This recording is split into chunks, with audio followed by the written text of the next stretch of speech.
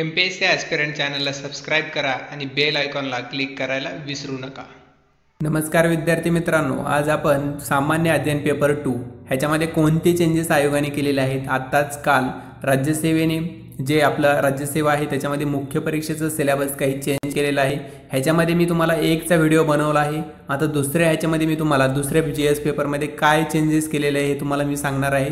ह्याच्यामध्ये कोणतेही चेंजेस केलेले नाहीत. फक्त काय चेंजेस केलं तर फक्त सिलेबस चेंज केला. या मार्क्समध्ये प्रश्नांमध्ये कोणताही चेंजेस केलेला नाही. नंतर एक्झामच्या कालावधीमध्ये सुद्धा कसलाही चेंजेस केलेला नाही. फक्त सिलेबस त्याची ब्रॉडनेस वाढवण्यात आलेली आहे. हे तुम्हाला मी तुम्हाला ह्याच्या स्लाईडमध्ये सांगणारच आहे. त्यामुळे चला तर लेक्चरला सुरुवात करूया.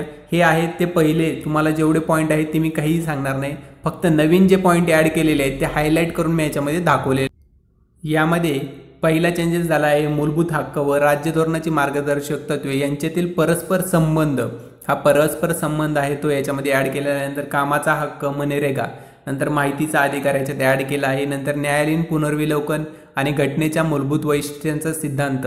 त्याच्यामध्ये केशवानंद भारती खटला मनेका विरुद्ध मद्रास राज्य आणि मिनोरा मिल्स खटले हे सुद्धा खटले याच्यामध्ये ॲड केले आहेत. नंतर याच्यामध्ये केंद्रीय माहिती आयोग. हा सर्वात महत्त्वाचा केंद्रीय माहिती आयोग याच्यामध्ये ॲड केला आहे. नंतर कलम तीनशे सत्तर रद्द बातल. म्हणजे रद्द जो झाला आहे कलम तीनशे सत्तर त्याच्याबद्दल माहिती. नंतर कलम तीनशे एकाहत्तर हे सुद्धा याच्यात ॲड केलं आहे.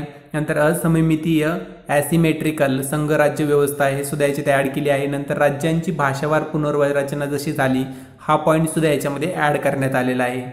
ह्याच्यामध्ये पुढे जाऊन भारतीय संघराज्य व्यवस्था याच्यामध्ये कलम तीनशे सत्तर हे मी तुम्हाला आत्ताच सांगितलं कोणते कोणते ॲड झालेले आहेत. नंतर याच्यामध्ये प्रादेशिक असमतोल मुद्दा नव्या राज्यांची निर्मिती हा सुद्धा पॉईंट याच्यामध्ये ॲड करण्यात आलेला आहे. नंतर राज्याराज्यातील संबंध आंतरराज्यीय परिषदा विभागीय परिषदा हे ॲड केलं आहे. नंतर नीती आयोग आणि आर्थिक संघराज्याचे बदलते स्वरूप नंतर सरकारी आयोगाच्या शिफारशी ह्या सर्व पॉईंट याच्यामध्ये ॲड करण्यात आलेले आहेत. नंतर ह्याच्यामध्ये भारतीय प्रशासनाचा उगम ह्याच्यामध्ये ब्रिटिश पूर्व काळ नंतर ब्रिटिश काळ आणि स्वातंत्र्यप्राप्तीनंतरचा काळ. हे तीन पॉईंट ह्याच्यामध्ये ॲड केलेले आहेत.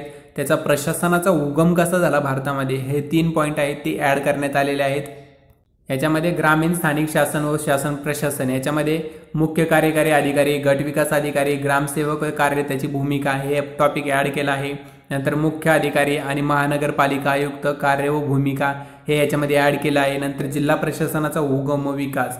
हा पॉईंट याच्यामध्ये उगम जो पॉईंट आहे तो ॲड केलेला आहे. नंतर जिल्हा अधिकारी अधिकार व कार्य नंतर उपविभागीय अधिकारी तहसीलदार आणि तलाठी यांचे कार्य व भूमिका या सर्व गोष्टी याच्यामध्ये ॲड केलेल्या आहेत. यामध्ये कायदा व सुव्यवस्थेची यंत्रणा जिल्हाधिकारी पोलीस उपनि पोलीस अधीक्षक जो आहे आणि नंतर नागरिक यांचे जो संबंध आहे ह्याच्यामध्ये ह्या टॉपिक ॲड केलेला आहे. नंतर पक्षहित संबंधी गट म्हणजे बदलते स्वरूप म्हणजे भारतीय पक्ष पद्धतीचे बदलते स्वरूप आहे ते सुद्धा याच्यामध्ये ॲड केलेलं आहे. नंतर पक्षीय निधी निवडणुकीतील कामगिरी आणि पक्षीय निधी हे दोन पॉईंट ह्याच्यामध्ये ॲड करण्यात आलेले आहेत.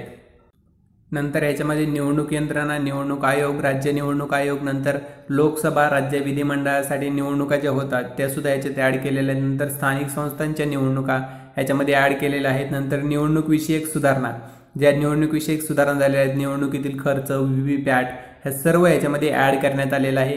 नंतर फेक न्यूज व पेड न्यूज हा टॉपिक सर्वात महत्त्वाचा आहे. तो सुद्धा याच्यामध्ये ॲड करण्यात आलेला आहे.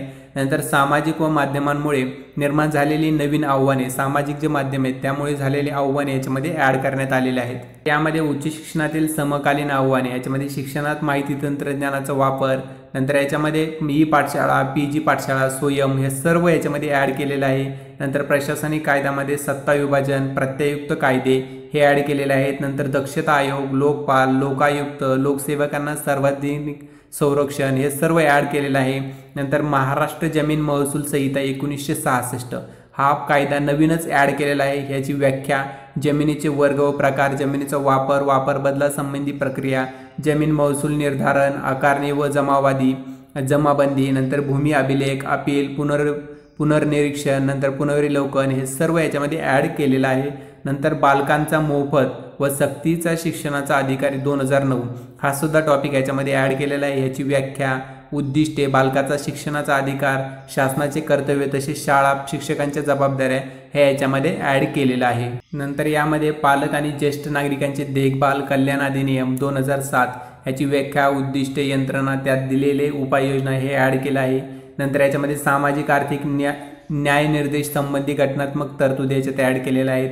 नंतर मानवाधिकार अंतर्गत महिलांचे संरक्षण हा सुद्धा याच्यामध्ये ॲड केलेला आहे. पॉईंट नंतर भारताचे संविधान मानवाधिकार अंतर्गत बालकांचे संरक्षण मोफत कायदा सह सहाय्यता जनहित याचिका संकल्पना हे सुद्धा ह्याच्यामध्ये ॲड केलेले आहेत. पॉईंट नंतर याच्यामध्ये अर्थसंकल्पीय प्रक्रिया अर्थसंकल्प तयार करणे कायदेशीर प्रक्रिया अंमलबजावणी करणे हे सर्व पॉईंट याच्यामध्ये ॲड केलेले आहेत. नंतर यामध्ये कृषी प्रशासन आणि ग्रामीण अर्थव्यवस्था याच्यामध्ये हरित क्रांती धवल क्रांती हा सुद्धा टॉपिक याच्यात ॲड केलेला आहे.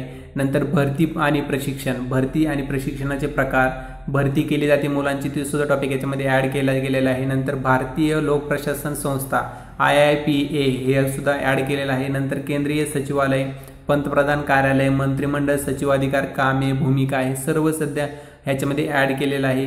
नंतर महाधिवक्ता हा सुद्धा याच्यात ॲड केलेला आहे. नंतर वैधानिक संस्था लोकपाल आणि लोकायुक्त हा टॉपिक सुद्धा याच्यात ॲड केलेला आहे.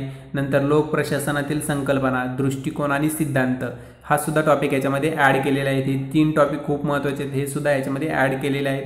नंतर सार्वजनिक धोरण. सार्वजनिक धोरणसुद्धा टॉपिक याच्यात ॲड केलेला आहे. याच्यामध्ये निर्मिती अंमलबजावणी मूल्यमापन आणि विश्लेषण. नंतर सार्वजनिक धोरणे आणि जागतिकीकरण. भारतातील सार्वजनिक धोरणाची प्रक्रिया. हे सर्व टॉपिक ह्याच्यामध्ये ॲड केलेले आहेत. हा जी एस पेपर टूमध्ये अशा प्रकारे चेंजेस केलेले आहेत. हा जर व्हिडिओ तुम्हाला आवडला तर लाईक करा कमेंट करा शेअर करा आणि पुढच्या व्हिडिओमध्ये मी जी एस पेपर तीनबद्दल तुम्हाला सांगणार आहे. त्यामुळे चॅनलला सबस्क्राईब करून ठेवा.